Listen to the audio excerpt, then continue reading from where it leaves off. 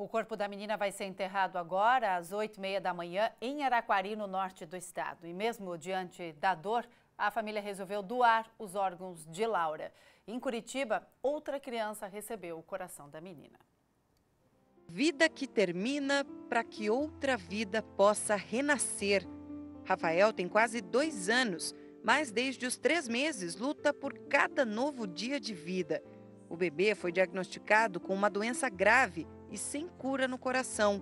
A única esperança de sobreviver era conseguir o transplante do órgão. Deus nunca erra.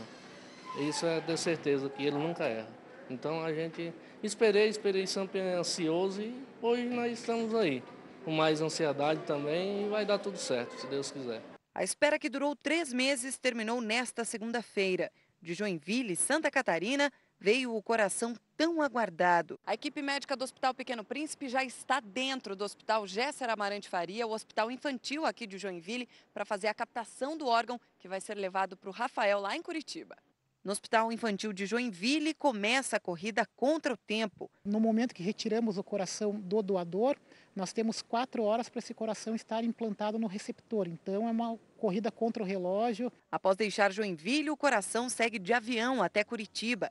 O helicóptero deixa a equipe médica próxima ao hospital, em que Rafael aguarda o novo coração.